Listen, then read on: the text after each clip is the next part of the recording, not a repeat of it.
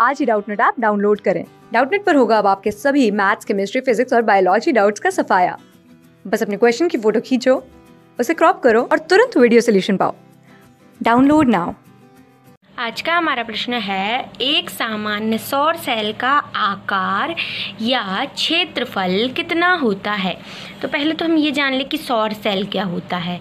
तो सौर सेल क्या होता है? वह युक्ति जो सौर ऊर्जा को। सौर ऊर्जा कौन सी ऊर्जा होती है जो सूर्य से प्राप्त होती है? सौर ऊर्जा को विद्युत ऊर्जा में बदलती है, ठीक है? यानी कि जो सूर्य से प्राप्त ऊर्जा हो रही है, उससे हमको विद्युत मिले, है ना? तो ऐसी युक्ति को बोला जाता है सौर सेल। तो इसी सौर सेल का आकार हमसे यहाँ पे पूछा है। तो एक जो सामान्य सौर सेल होता है, उसका आकार होता है दो सेंटीमीटर का वर्ग, है ना? तो जो एक सौर सेल होता है, उसका आकार होता है दो सेंटीमीटर वर्ग होता है और यही इसका क्षेत्रफल भी होता है।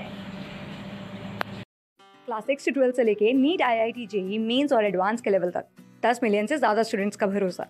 आज ही डाउनलोड करें डाउट नेट ऐप या व्हाट्सअप कीजिए अपने डाउट्स आठ चार सौ चार सौ चार सौ पर।